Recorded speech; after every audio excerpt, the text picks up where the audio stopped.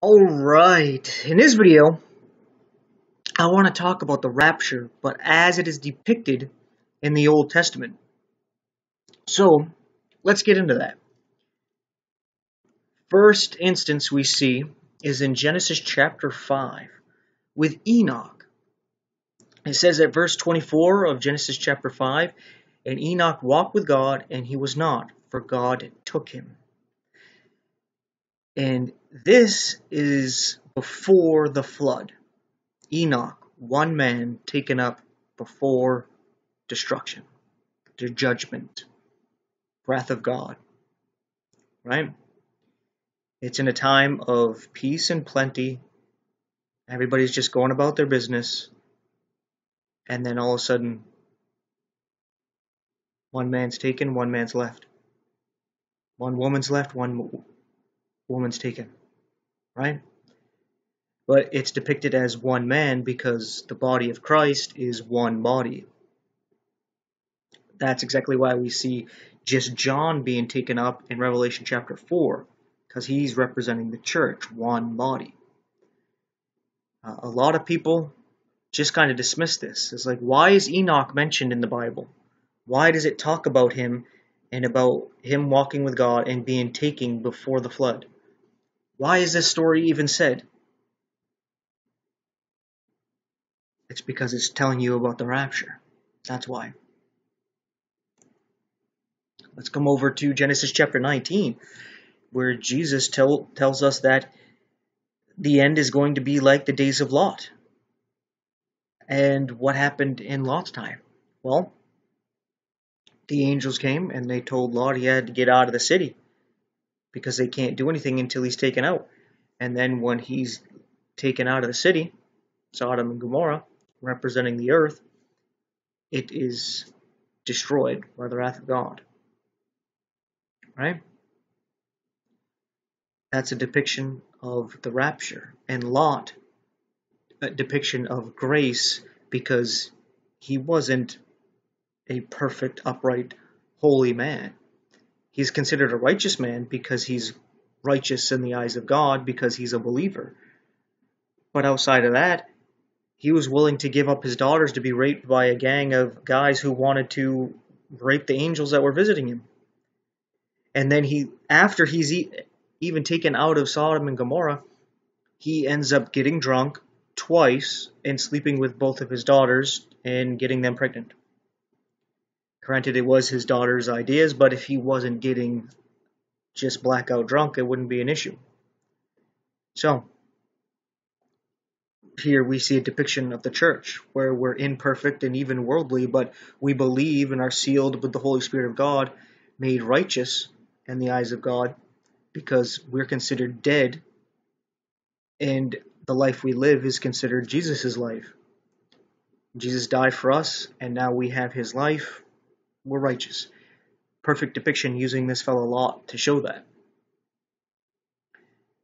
Then we come over to Joseph. Joseph is a really good one because Joseph depicts Jesus. And, whoops, uh, we see that Joseph is sold by his brothers, betrayed, just like Jesus betrayed by his brothers, the, his fellow Jews, namely Judas, and he's given over and put to death. Joseph didn't die, but it was believed he is dead, and the coat of many colors is covered in blood and given to the father so that he can decide for himself and think that Joseph is dead. And this is a depiction of Jesus being betrayed and giving up the ghost and his blood being poured out for the forgiveness of sins. And Joseph becomes second in command of Egypt, and Egypt representing the world. And he's second to the Pharaoh. The Pharaoh would represent the father. But Joseph, representing Jesus, basically does everything. He's in control of everything and he runs everything.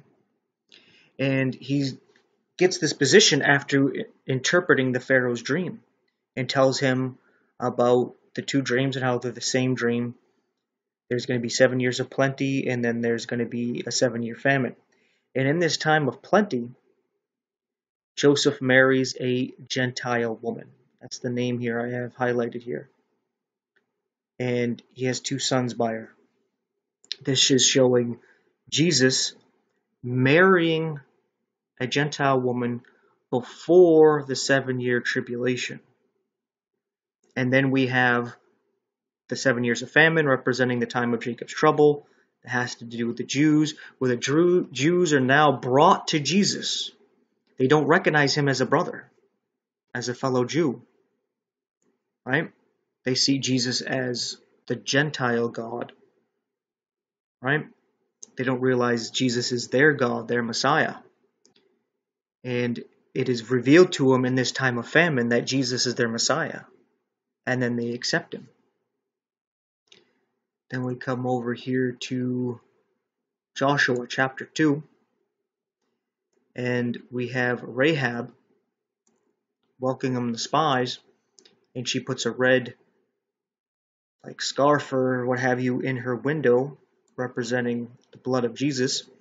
And her and her family are taken out of Jericho before it's burned down and destroyed. So I think there's a depiction of that going on right here where she's letting the spies out. So she is a Gentile woman and she ends up being in the line of the Messiah, uh, showing you the church. Right? We have all these stories. There's probably a lot more that I haven't seen. And you can be finding them yourself if you were getting into the Bible and reading it. But anyway, we got 2 Kings chapter 2 where they knew that Elijah was going to be taken up to heaven. And he's taken up by a whirlwind. And Elijah, and there's Elisha. So there's a, a, with a J and an S. I'll highlight it here just in case you're not familiar. There's two prophets, Elijah with a J and Elisha with an S. And Elisha wants a double portion of the Spirit that is given to Elijah but the only way he's going to get it is if he actually witnesses Elijah being taken up. And he's taken up in a whirlwind. And I think that's what's trying to be depicted in this little picture on the side of this. I'm not sure, but I'm assuming. Doesn't look too much like a whirlwind, but it does look like a flaming chariot. Trying to be a whirlwind going on there, but anyway.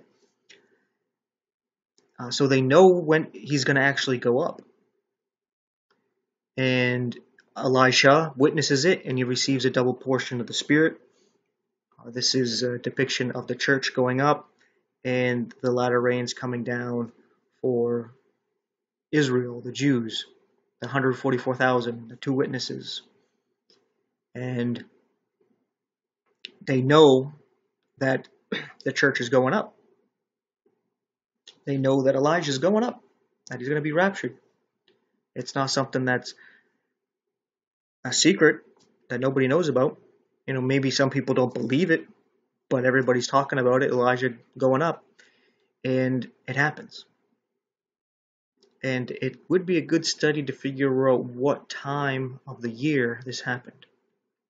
It'd be very interesting to study that out. I've heard some people talk about it, but I, I'm not too sure. But that would be really cool to find out because I imagine it has to do with something I'm going to bring up as I go through here, the Feast of Trumpets. And I wouldn't be surprised if that's around the time that he was going up. But can't say for sure. we have Nehemiah chapter 8. This is one that I was actually reading at the laundromat this morning. And I was like, wow, uh, this is a depiction of the rapture going on here. Of course, you can read on more, but I want to just focus on the first couple verses here to paint the picture of what is going on here.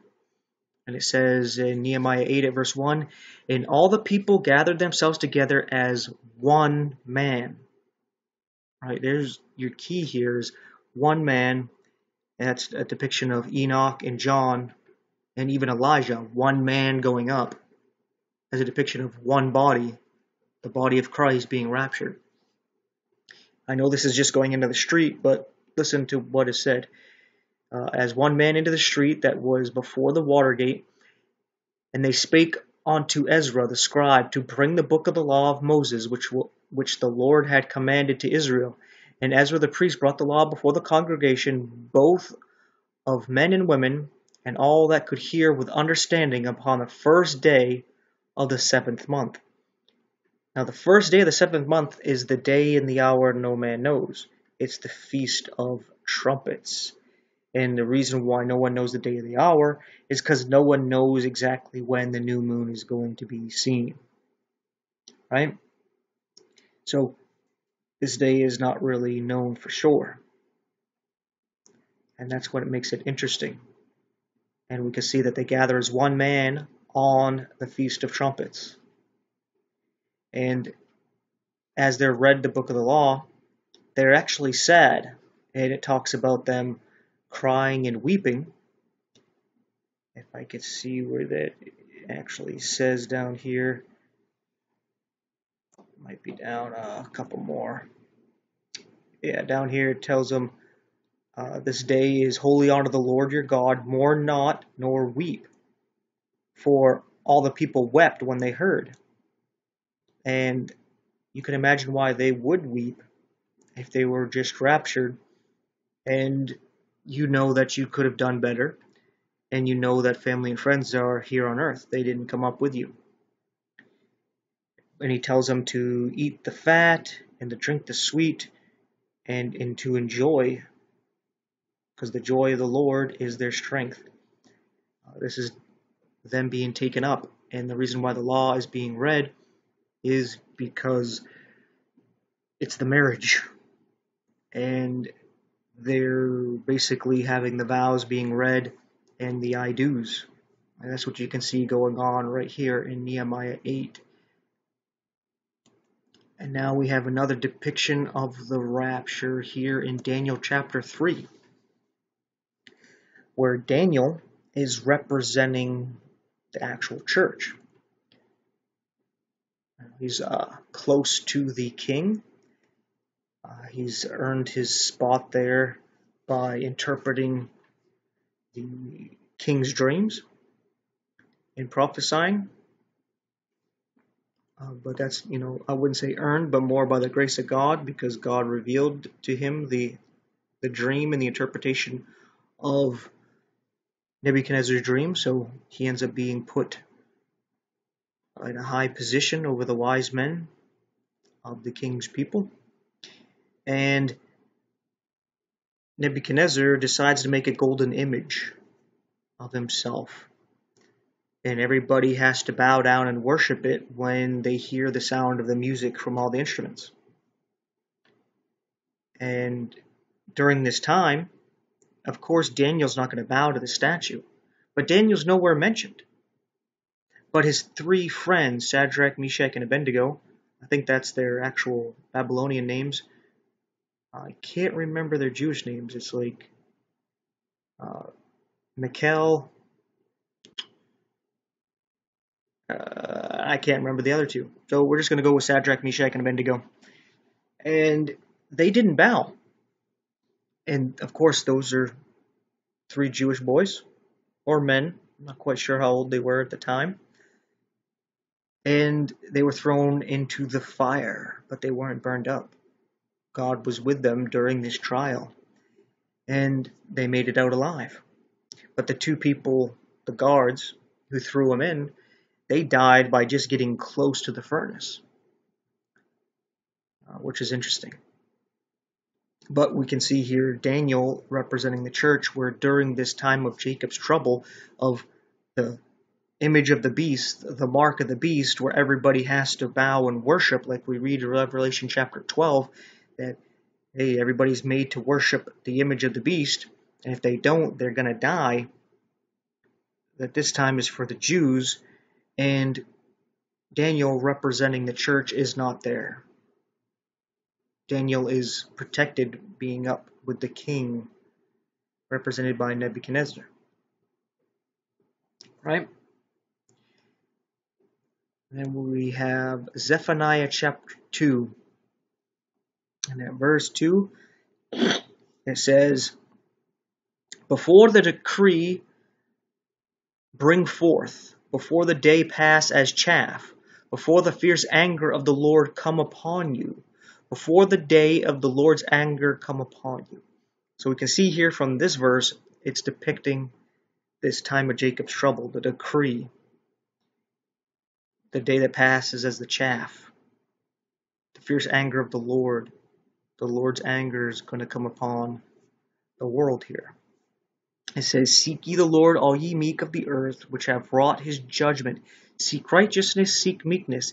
It may be ye shall be hid in the day of the Lord's anger. Now we know what day this is talking about.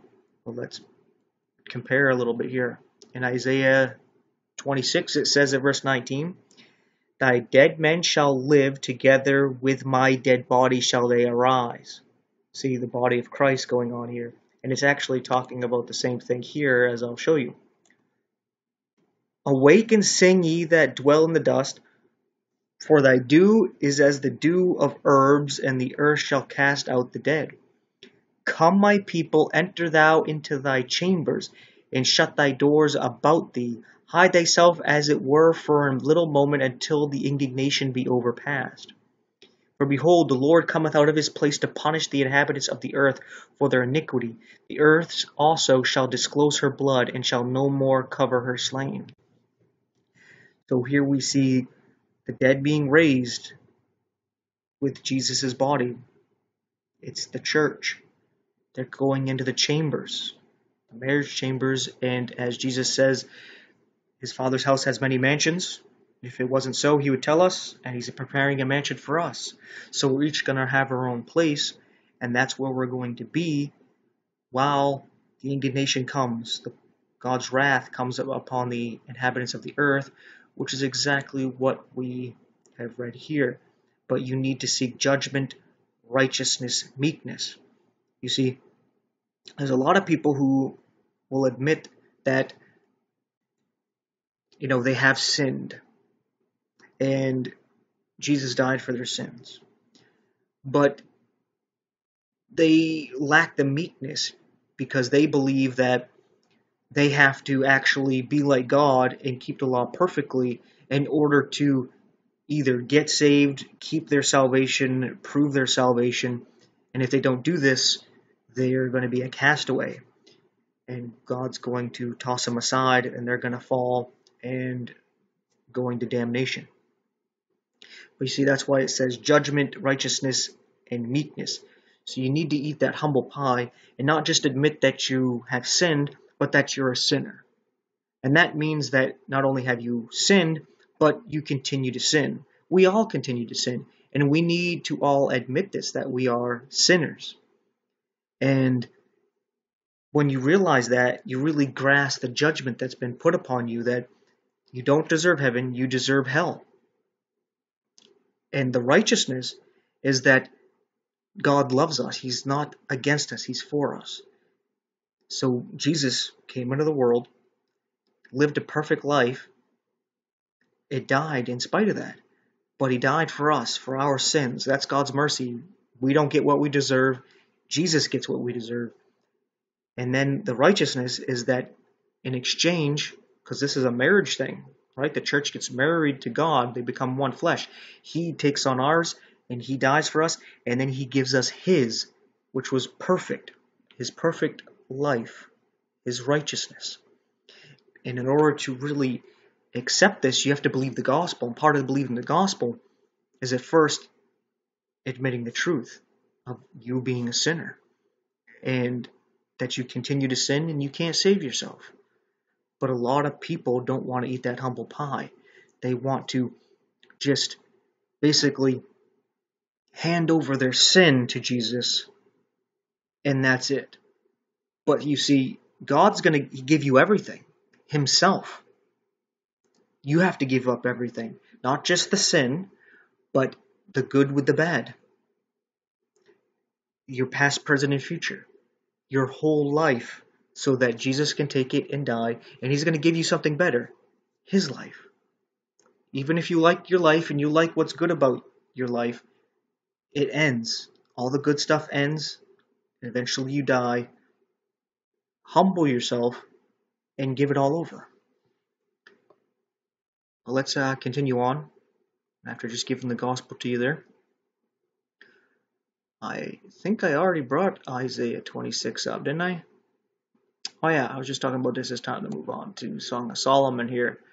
In chapter 2 at verse 10 it says, I guess we could start at verse 8, but I wanted to cut it down a little bit here. Try to narrow the focus on this.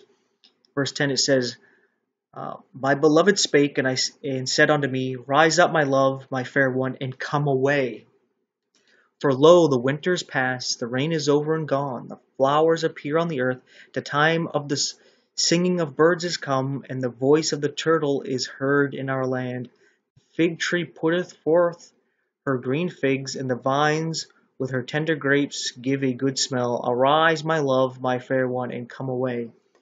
Here we get a depiction of winter's over, spring is over, the rains.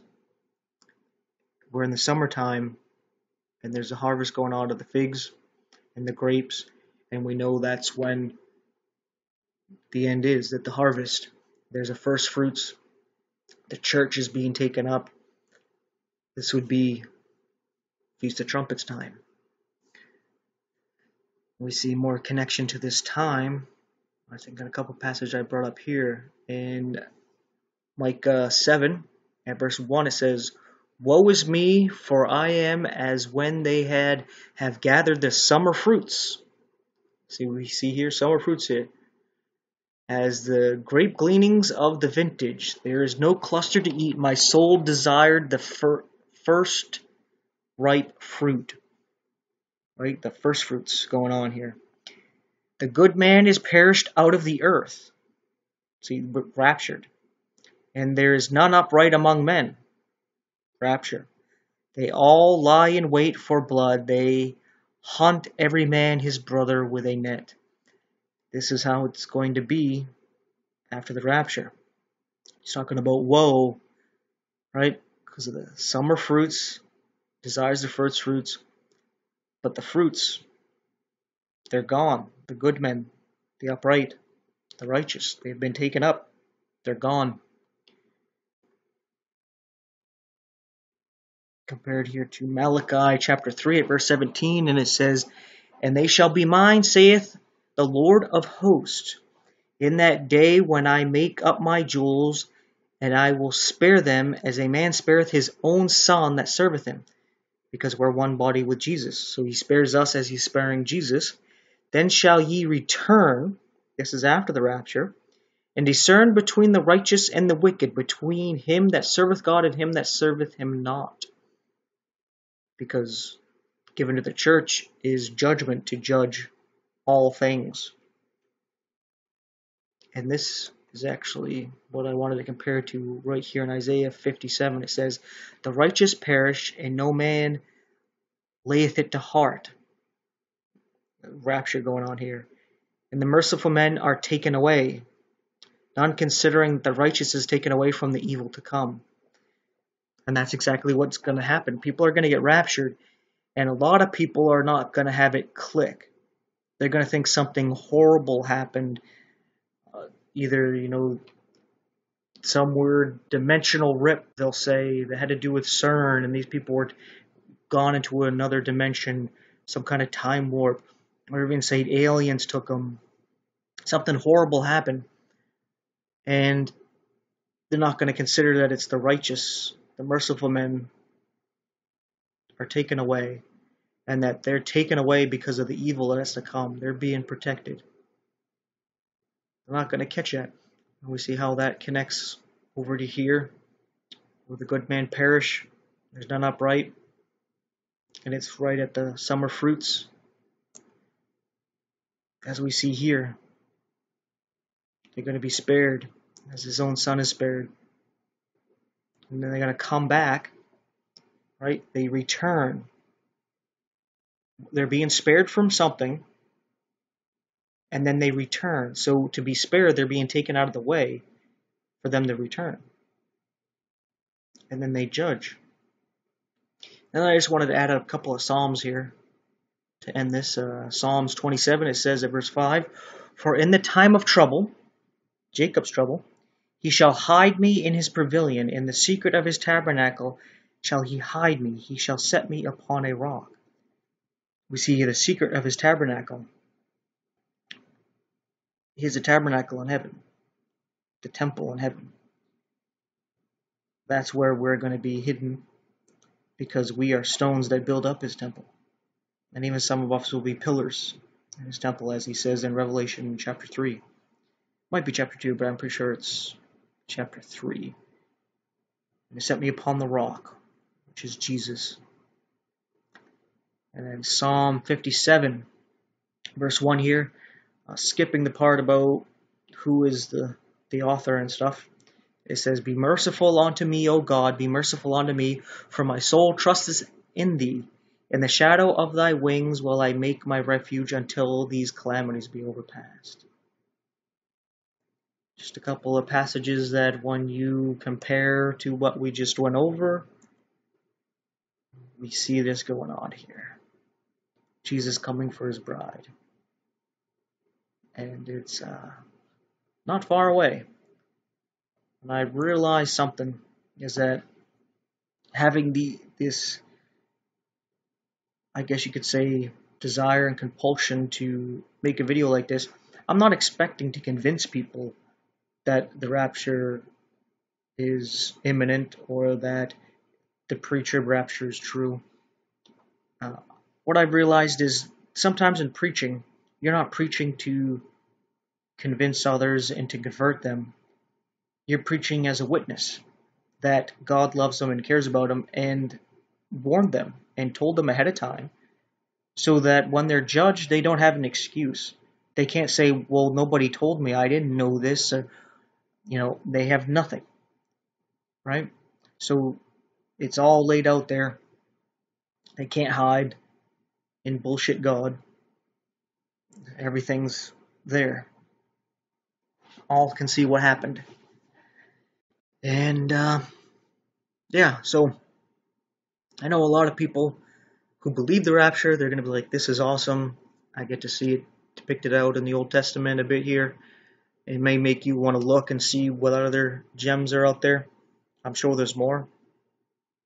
And if there is, I'll end up putting it together, make a part two to this, I guess. But uh, I think for the most part, it's just to be a testimony to those who mock. And when it happens, then either they'll believe, at which point the gospel of grace is gone. You can't be part of the church anymore, but you can still be saved. But like Jesus said at this time, as talking to the Jews, that whoever seeks to save his life will lose it, and whoever will lose his life for Jesus' sake will save it on to eternal life. That means you're going to have to give up everything during this time.